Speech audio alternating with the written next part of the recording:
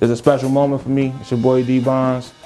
Live exclusive interview with none other, one and only, the kid K Bay. K Bay, thank you for joining me tonight. It's my course, pleasure of to course. interview you, ask you a few Thank you. questions. Um, Okay. You definitely just rocked out, no question. Thank you so Um, much. 13 years old? Yep, that's right. Okay, 13 year old, had your own little band situation. Y'all was definitely getting it in. So, Thank you. first question I want to ask you is, um, what made you stop music? Well, just being around my father and my godfather with them doing music, it really just it brings a lot of joy and happiness to me and just it's just like I just love the feeling of just being up there, you know, doing music and being able to perform and it feels like I actually can, can control whatever goes on because, you know, it's like it's K-Bay, so it's like you can do whatever you want to do. Okay, I hear that. I hear that. So this K Bay, this K Bay, where did where did it come from? Well, one day, my uncle Hank, he just came up with the name K-Bay, and ever since then we've just been going with K-Bay. So, Okay, I got you. How long you been doing music? well, I've been doing this since I was five years old, as I stated in one of my songs, and my first song was actually called Dare to Dream, that featured my godfather, my uncle Hank.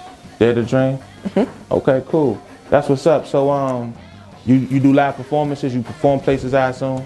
Always, Okay, always, okay. always booked. I guess you could say where, where's like if you had to say this performance right here really did it for me. What what perform? Where would that be?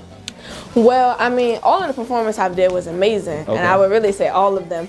But if one that stood out to me the most, it would have to be between the one I did in Water Country and the one I did in Richmond. Okay. With those two, really, it was a lot of people. Or, almost forgot the one at 8th Street. Okay. That one was, and this one tonight. Okay. You know, with the crew, you know, definitely was. It was amazing. I got you.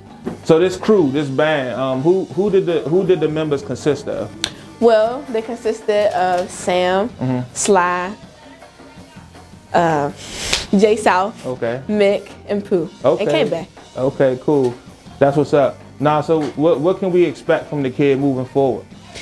Y'all can expect nothing but greatness, and I mean, just be ready, cause it's always a surprise with me. So just, just, just be ready. I mean, that's all I gotta say. Just stay ready. Hey, just stay ready.